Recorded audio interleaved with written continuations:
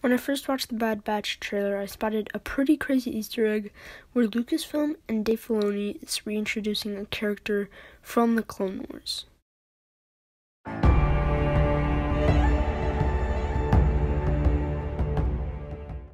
So, just a quick recap, I'm going back all the way to when Ahsoka species, the Togruta, in the Clone Wars were captured by Zygerrian slave owners, Obi-Wan and Anakin, as well as a few other characters, attempted to free them, and multiple events happened, but in the end, of course, they got the, the slaves to safety and freedom.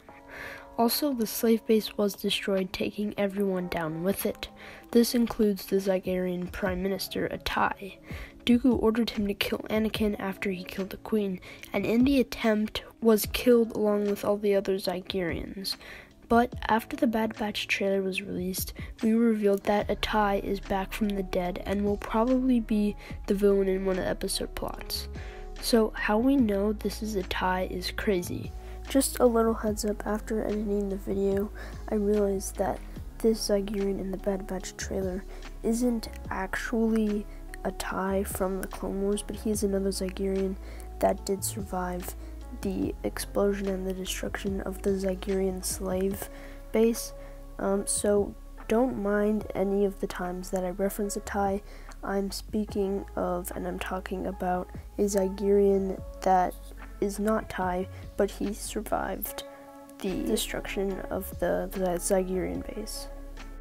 In the Bad Batch sizzle reel, we see for a split second a skinny Zygerrian fighting Hunter with no right eye and multiple scars. We can also see the weapon in his hand, which a Zygerrian slave owner holds.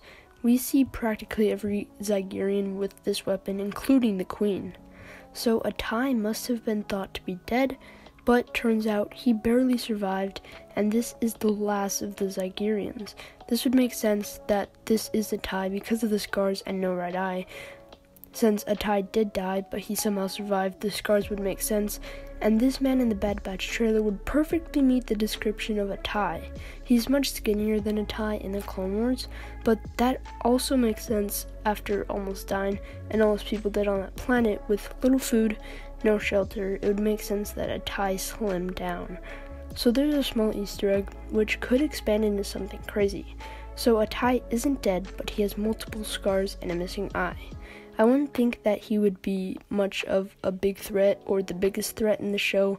I'd probably say Order 66 and Palpatine would be the biggest lead up in the show, or the threat, the biggest threat. And he would obviously just be the villain of a single episode like he was in the Clone Wars. It would be cool to see Hunter and him fight, and what they might do in the Bad Batch is revisit and introduce several characters that were in the Clone Wars, such as the slave owner Atai.